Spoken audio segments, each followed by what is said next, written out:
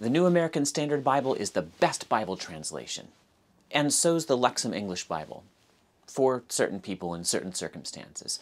Who are those people? What are those circumstances? But first, a blast from the comic pages past. I was never a big fan of Tank McNamara. I watched and played a fair bit of football as a kid, but somehow the humor of that strip just didn't connect with me. But there's one line from it that my dad and I quoted to one another many times because it's such a great send-up of what football commentators do. A little kid was playing with some football announcer action figures, and he had them say, Troy Aikman is the most underrated player in football. And then the kid had the other announcer figure say, and so's Emmitt Smith. The joke is that these commentators are always saying that so-and-so is the best, or that so-and-so, such and such player is the most underrated player. He should get talked about more often. That's what my whole The Best Bible Translation series is all about. Sorry if I've confused some people who've only read the cover. Troy Aikman is a great Bible translation, and so is Emmitt Smith. Which Bible is best? All the good ones. But highly literal, formal translations are best for certain circumstances. In this video, I will cover the New American Standard Bible and the Lexham English Bible, but much of what I say will apply to more obscure, less popular literal translations, like the Literal Standard Version. At the end, I'll accede to popular demand and make some comments about John MacArthur's Legacy Standard Bible, or at least about its marketing. So, for whom is the NASB the best? Under what circumstances is it the best? Number one, the NASB is the best translation for you if your church already uses it. The greatest Bible expositor I have ever heard, in my humble estimation, my pastor from age 16 to age 34, Mark Minnick of Mount Calvary Baptist Church in Greenville, South Carolina, has used the New American Standard Bible for 20 years. I was there. I was a church member when we voted, I voted, to have liberty to use other translations beside the King James Version. I was there when Pastor Minnick started preaching from the NASB. To my King James only brother, I might point out that it's been over two decades and he hasn't gone liberal yet, nor has he diminished one iota his belief in Christ's deity or the efficacy of Christ's blood. I've been gone from that church for six and a half years, having moved across the country, and I haven't changed my opinion. Mark Minnick is the best expository preacher I have ever heard. His Ephesians series changed my life. It was God's means of calling me to a Bible teaching ministry. He has had an incredible impact on me. I couldn't believe it when my friends who attended with me my freshman year of college chose the next year to attend a different church. But I took note of what they said to me, and they said it kindly. They said that our church was arrogant. Now, I know these church people. There are countless godly, humble, faithful people at my old church. But when you have the best preacher, you're tempted to drop little comments to other Christians about that best preaching that maybe aren't wise. I can praise him because I'm gone now. There is a good kind of pride, a sort of loyalty for and love for your church, but it gets shaded with a little bit of sin when you're there and you tell other people about it. The same can happen with good Bible translations, the NASB included. Christians can start to pick up the attitude, we're the faithful few who are willing to stick it out with a truly literal Bible translation, unlike the pansies at Church X down the street who demand an easy to read version. We've got steak, they've got jello. That attitude is real. I've picked it up in the air, and not just in my old church. And just as it isn't my old pastor's fault that some people honor him in a way that he wouldn't want, he is so humble and gracious. It is no knock on the quality of the NASB that some people view it as the one true Bible. So, to the person in my old church that I still love so much and just visited a few weeks ago, don't be proud about the translation you have, but if you're considering which one to use, consider the providence of God. You're in that church, your pastor, your shepherd chose the NASB. That would be a fine choice for you. Be content, even if the cool kids are onto the ESV and it's actually sold in the church bookstore. Get a nice NASB. I like the Clarion edition from Cambridge the best, but I'm going to be honest. Though I love and admire Pastor Minnick and cite his influence on me over and over, though I think that any sign of graciousness you see in me is largely due to the indelible ways in which he shaped me, I would not choose the NASB as my church's main Bible.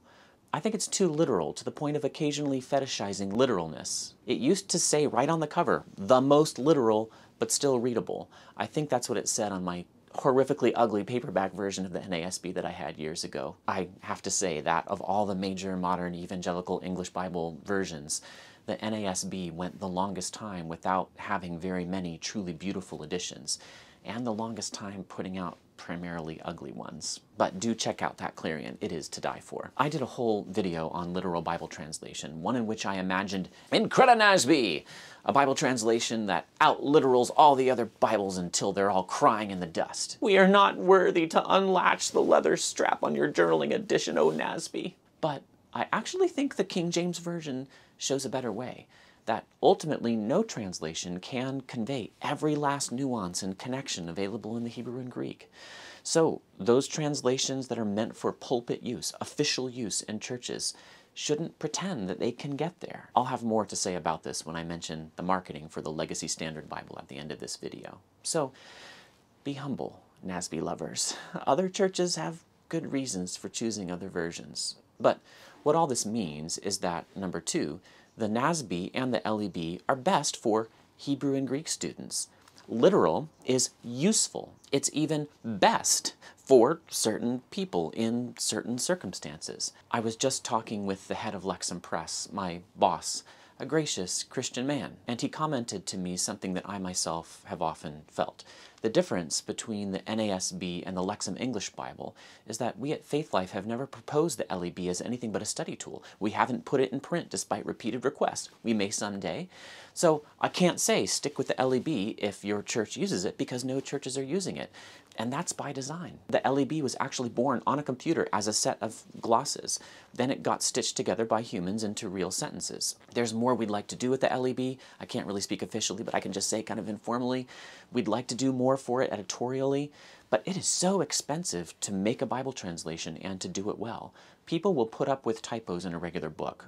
They'll be happy with 95% perfect. And that number is achievable for a reasonable price, but to go from 95% to 98% perfect, that's a really tall order. And to go to 100% is almost impossible and impossibly expensive. I helped edit a translation, a Bible translation, the Lexham English Septuagint. It was such a privilege. I enjoyed it so much. And there were like 10 of us working on it. That, that is just expensive because we all like to eat and wear clothes. Don't take good Bible translations for granted. To do them well takes resources. But that was a digression. Let me get back to my point number two, I think the NASB and LEB are great for Hebrew and Greek students because they tend to stick to the forms and word order and number and other grammatical features of the original Hebrew and Greek more than other translations. This is precisely why they're appealing to my conservative Christian crowd. I think, as I've already said at great length in other videos, that this appeal demonstrates some confusion about what translation is and what it can be. But the end result of highly literal translation is that it's easier for students to match up what they see in the originals with what they see in the English. People with some Hebrew and Greek knowledge can sort of triangulate. They can pinpoint A, the originals, point B, the NASB or LEB, and they can sort of reason to point C, the, the meaning. But that meaning is nearly always present in one of the less literal translations, in fact, in all of them. Let me give an example.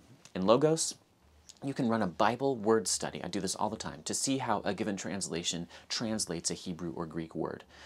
Before I did this work, I predicted that the standard Hebrew word tov, whose most common gloss is good, would be translated in numerous different ways in the New International Version, but in fewer different ways in the NASB. I predicted that good would be the predominant English gloss in the latter, in the NASB, and this is exactly what I found. The NIV renders the word tov in far more different ways than does the NASB.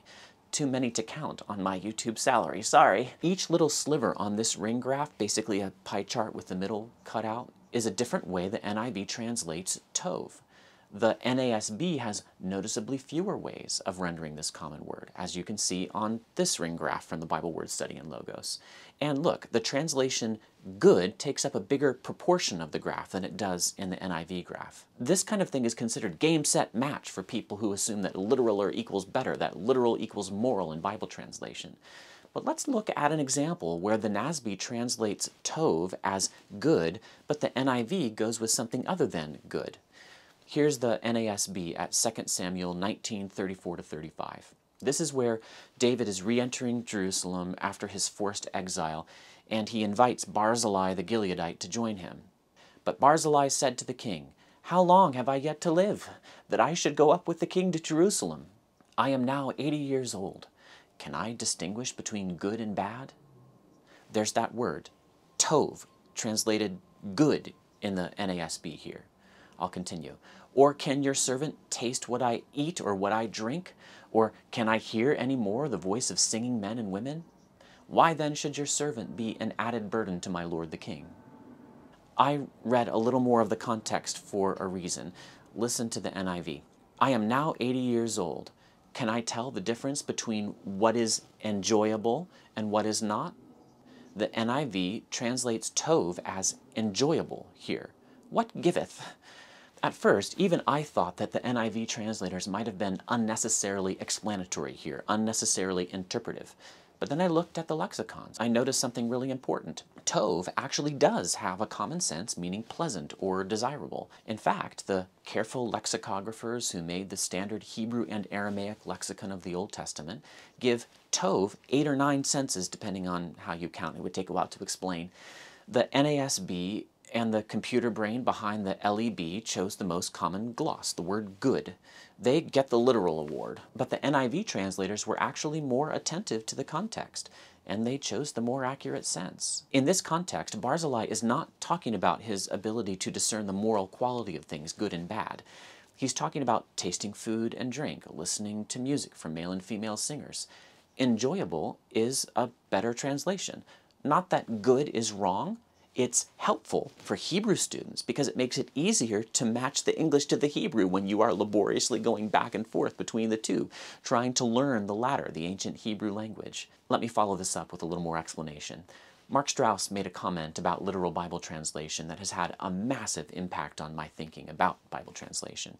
He said that often what passes for literal Bible translation in people's minds is this when Bible translations consistently use the main English equivalent they learned in their vocabulary lists when studying the language back in seminary, that kind of becomes the literal translation of that word. So, tov means good. That is a convenient gloss, and for the purposes of learning vocab, it's a good and enjoyable one. But no translator can afford to use the same gloss every time a word appears. Language just doesn't work like that, as I so frequently say. The King James translators go out of their way in their preface to explain that doing this sort of thing, using the same English equivalent every time a Hebrew or Greek word appears, is bad translation practice. I've memorized their droll takedown of this practice. It savours more of curiosity than of wisdom. For a video on why the NASB and LEB are the best, I haven't done much praising of these translations, I confess. So let me just say that when we're talking about major evangelical English Bibles, we're not talking about big differences, but small ones, like the difference between good and enjoyable.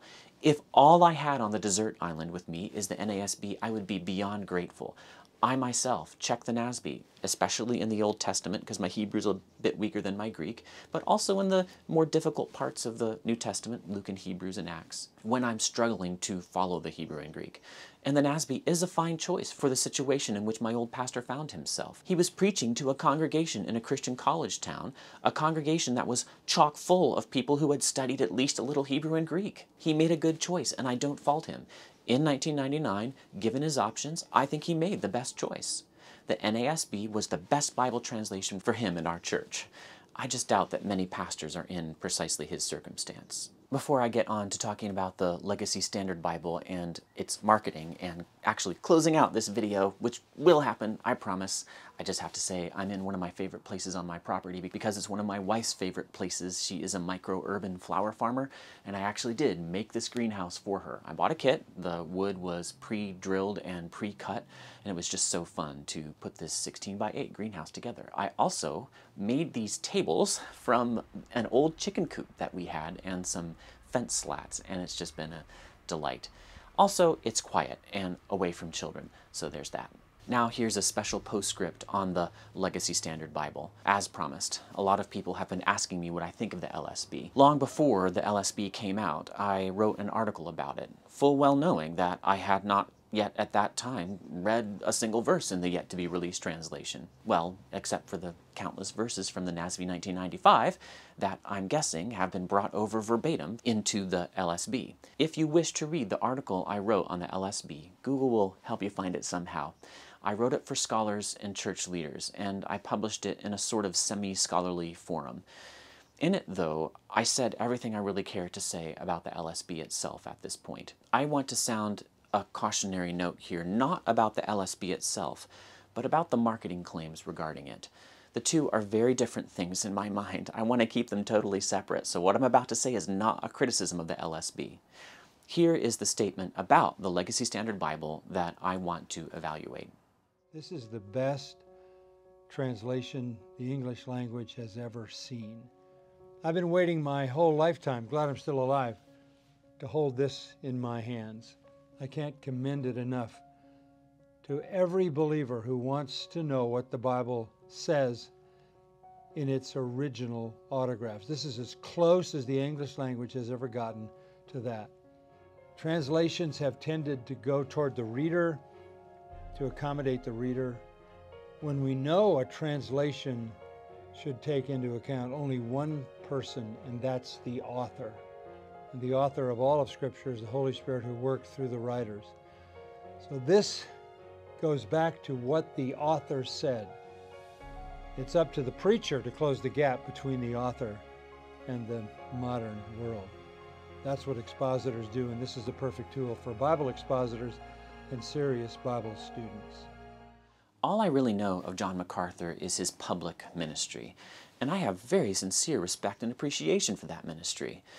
This and that comment here and there over the years I have disagreed with from John MacArthur. Who hasn't?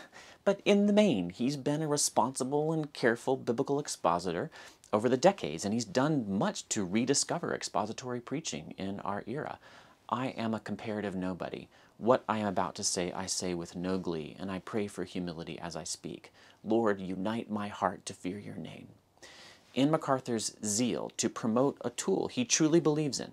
And I've said before, and I say again, I do not think he's in this for the money. MacArthur nonetheless ends up overreaching. This is as close as the English language has ever gotten to what the Bible says in its original autographs. What does that even mean? It seems to mean that the LSB is about as literal as a translation can get. And I've already offered in this video and in others, especially my Incredinasby video, some, I hope, gentle, but I hope firm critiques of that kind of viewpoint. This is overreach. A translation should take into account only one person, and that's the author. What does that even mean when it comes to the Bible, when it comes to Bible translation? I think he means what he goes on to say, that it's the preacher's job to close the gap between the author and the modern world. That idea, at least, makes sense. But if I'm going to be persnickety like he's kind of being right here, I'm going to have to stick with exactly, precisely, literally what MacArthur said. And he said that we don't need to have any concern for the reader whatsoever. And again, I just can't even process that. The whole idea, the whole point of translation is to make accessible to the reader what the original said. And we do have to know some things about that reader. We have to know which dialect of which language he or she speaks and writes so we can translate in accessible, intelligible terms as much as possible. It's worthwhile to know how old your audience is because maybe it's okay to have a Bible translation that's more accessible to third graders or prisoners like the NIRV that I've already talked about. It's worthwhile to know the vocabulary of your intended readership because there's no sense using a word they won't know. Even if it's technically part of the language, it shows up in the English dictionary, if there's a suitable equivalent that they do know. We've seen this kind of thing before on my humble channel, this idea that it's possible to translate the Bible in such a way so as to basically eliminate all interpretation. We're going to give you just what the author said, no more, no less, with no human involvement. Actually, we had a computer from the future translate this Bible because we wanted no human mediation in the translation process. I'm not exaggerating much here. MacArthur said this was the perfect tool for serious Bible students. Now, again, I know marketing language. I live in the United States of America. I'm pretty sure I know what MacArthur intends. But if I'm not permitted to interpret what he said, only relay it, only interpret it literally, technically, what he said was that the LSB is perfect. You know this is ridiculous. You know he didn't mean that. And you know that the LSB is, in fact, not perfect. So why did MacArthur sort of say that it was? Should I interpret him literally, or should I interpret him charitably? I hope the answer is obvious. The LSB may turn out to be an excellent tool for exposition. I dare say, without ever having looked at it, that I would be able to exposit God's Word carefully and faithfully using this tool. But I dare not say, with all due respect to Dr. MacArthur, that the LSB is noticeably better at literal Bible translation than other existing translations like the NASB or LEB. I showed in my Increda NASB video that you can never ever produce a perfectly literal Bible translation in any language. Those who assume you can generally haven't ever translated anything. Dr. MacArthur has been working in the Greek and, I think, Hebrew, I presume, for decades. I'm sorry, but he ought to know better than to talk the way he's talking in this marketing piece. Seeking the holy grail of literality is a Sisyphean task it's an oblique asymptote that never reaches the x-axis. It is the ice cream bar in the very bottom of the freezer toward which your six-year-old can stretch out his hand with all his might, but it will always be just out of his reach. One of my missions in life is to end Bible translation tribalism. And the kind of talk that Dr. MacArthur indulges in here is, I think, well-meaning, earnest, zealous, and wrong. Wrong because it stokes tribalism. What are all Dr. MacArthur's buddies, people he has in for conferences, supposed to do now with their ESV and their NASB 1995s? Are they supposed to continue using imperfect tools for exposition? The LSB is a useful tool, but other translations are also useful tools. May not be great marketing speak, but it does have the advantage of being true. The strength of formal translations like the NASB or LSB or LEB is that they stick so close to the forms of the Hebrew and Greek. That method of translation is good and useful, especially for students. But the weakness of such translations is also that they stick so close to the forms of the Hebrew and Greek. I don't know why God structured languages the way he did but it seems clear to me after years of fascination with language and translation, especially Bible translation, that because God made perfect translation between languages impossible, it's good and useful to have different kinds of translations. I think it's great to have some that maintain a lot of distance between original writer and today's reader. It's useful, but it's not obligatory. It's not a morally superior choice, especially when perfect consistency there is ultimately impossible. As old Dr. Bob Jones Sr. once said, you can do what you ought to do. And if you simply can't do something like translate the Bible with perfect literal consistency in such a way so as to eliminate all human interpretation and to maintain perfect distance between the original writers and the contemporary readers, then it just can't be a moral obligation. I haven't read a single verse in the LSB. I expect it to be a good and useful translation like the NASB before it. But mark my words, literally, if Dr. MacArthur preaches for another five or ten years, he will find errors in his own beloved LSB. Let's be careful the way we talk about Bible translations. Let's not stoke unnecessary division.